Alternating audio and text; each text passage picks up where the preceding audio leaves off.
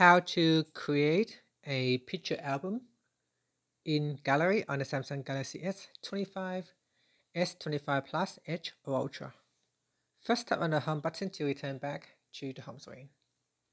Now from the home screen, open up the Picture Gallery app. Next in here, go back to your Gallery homepage and then tap on the Albums button at the bottom. After that, tap on the Add button at the top to create a new picture album. Now from the pop-up, tap on Album, then give your album a name, and then tap on Create. Alright, so tap on Albums, and then in here, now it's not showing yet, may take some time, so tap on View All, and we try to find the albums that we have just uh, created. So what I'm going to do, I'm going to tap on Pictures, then tap on Albums again, see if I can find it. Now tap on the back key to go back to the main albums page. In here, you can see there is an album called IT Jungles.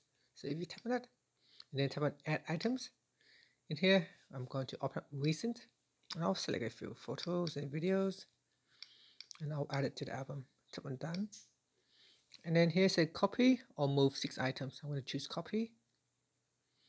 Okay, so it is now moved to the album. So in here, uh, in camera, we have some photos in here uh, in download. So what I'm going to do is uh, I can delete pictures in here and it will not affect the original photos. So I can delete them, move to recycle bin. Sorry, so if I go back into pictures, all those uh, photos are still available in my gallery. And that's it, that's how you can create your Pictures album in Gallery on the Samsung Galaxy S25, S25 Plus, Edge or Ultra. And that's it. Thank you for watching this video.